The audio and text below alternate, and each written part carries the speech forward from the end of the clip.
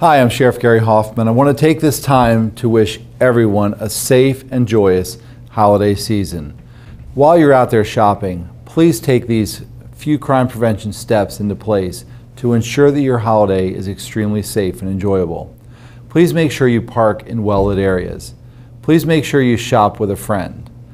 Take and make sure that all of the gifts that you purchase and all of those holiday treats are secure and out of sight it's a great idea to place these things in the trunk, or if you're close to the shopping center, make sure you take those things home and store them safely in your house.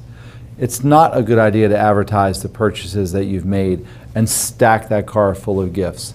Remember, there are bad guys out there this holiday season looking to take advantage of you and your family. To reduce the possibility of you being a victim of theft or identity theft, it's so important to make sure that you don't take your purse with you. Only take the necessary things that you need while you're out there shopping. Put your cash and credit card in a pocket as well as with your driver's license. This reduces the possibility of somebody taking your purse or getting your information.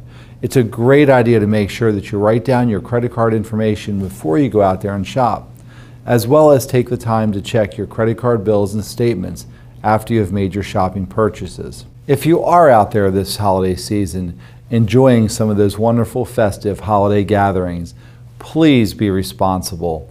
And if so, please choose a sober driver for your ride home this holiday season. From the staff here at the Office of the Sheriff, Queen Anne's County Commissioners, Queen Anne's County TV, we hope you have a very safe, happy, and joyous holiday season.